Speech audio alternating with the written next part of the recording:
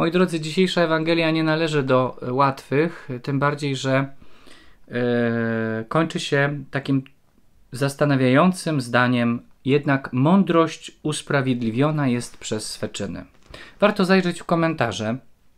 W komentarzu do Biblii Jerozolimskiej czytam: Mimo złej woli ludzi, mądry plan Boga urzeczywistnia się i znajduje usprawiedliwienie w sobie samym przez postawę, do jakiej skłania Jana Chrzciciela i Jezusa.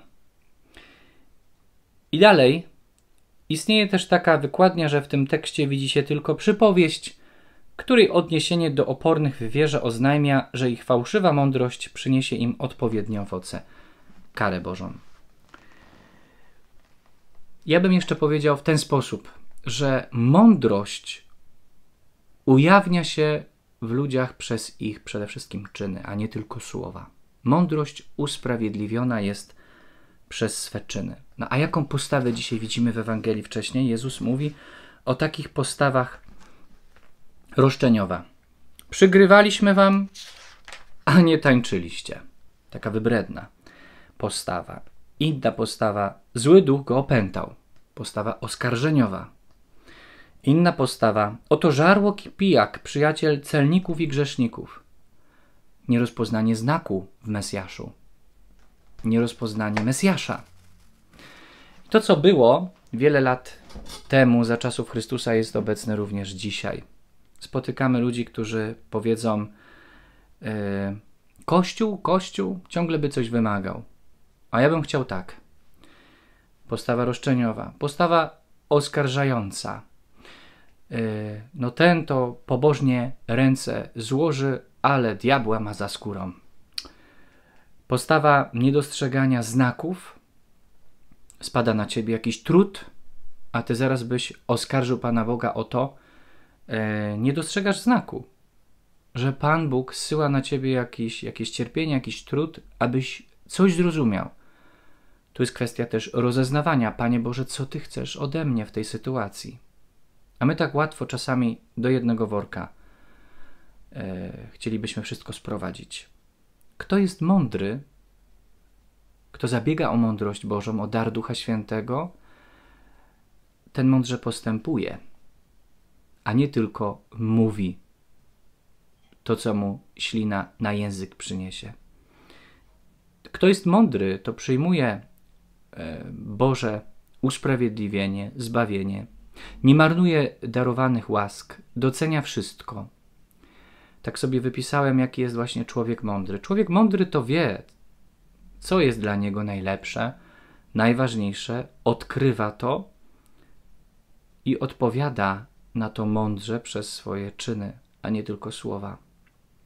A nawet jeżeli coś mówi, człowiek mądry często jest taki, który zrobi coś mądrze, a dopiero później to też skomentuje w odpowiednio mądry sposób, a nie tylko powie, a później nie dopełni tego przez czyn. Zauważcie. Y, człowiek mądry to jest taki, który też prowokuje pytania Człowiek mądry to jest taki, który nie będzie robił coś tylko i wyłącznie dla, yy, dlatego, żeby coś się zadziało, ale robi to okreś dla określonego celu, yy, biorąc pod uwagę środki, które pomogą w osiągnięciu tego celu. Zobaczcie, że właśnie takim mądrym, mądrą postacią, mądrą postawą charakteryzował się zarówno Jan Chrzciciel, jak i Jezus Chrystus.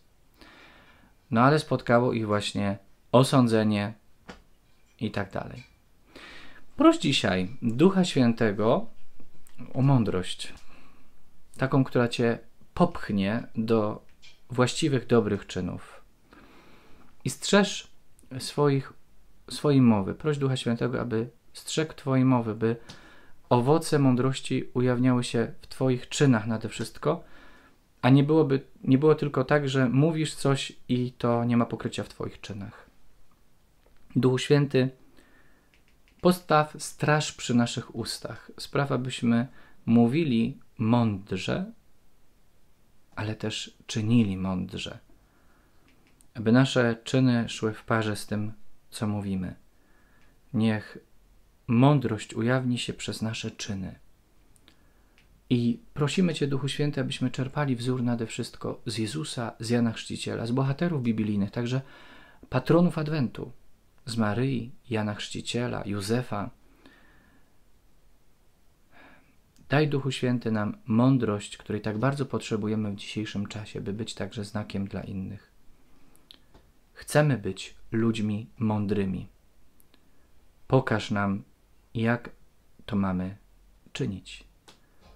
Jak ma mądrość wypływać z nas w naszych czynach. Amen. E, może chcesz kogoś zainspirować przez to, że napiszesz w komentarzu, do jakiego mądrego czynu Duch Święty Cię zainspirował ostatnio, zaprosił. E, że nie tylko zatrzymałeś się na słowach, ale był to konkretny czyn.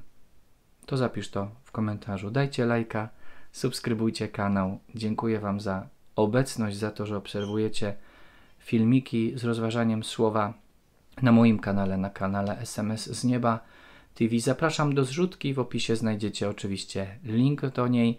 Już niedługo e, będzie kwota, którą będziemy mogli się cieszyć, e, gdy chodzi o zakup e, organów nowych.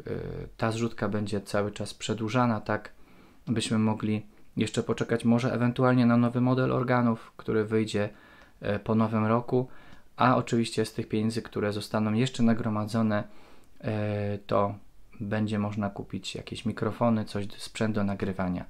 Także dziękuję Wam za każdą modlitwę w intencji zrzutki i za Waszą ofiarność. E, niech dobry Bóg Wam wynagrodzi. Zapraszam do tego, by komentować Słowo Boże, by też usiąść ze Słowem, też prywatnie. Cały czas to do tego zapraszam. Ta modlitwa Słowem Bożym ma swój finał wtedy, kiedy siądziesz do Słowa Bożego, przemedytujesz, może podzielisz się również z kimś w rodzinie, w swoim społeczeństwie.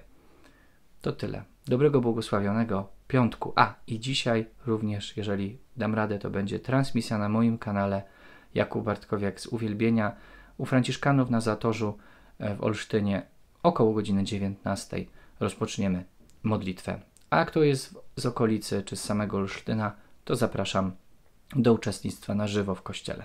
Z Panem Bogiem.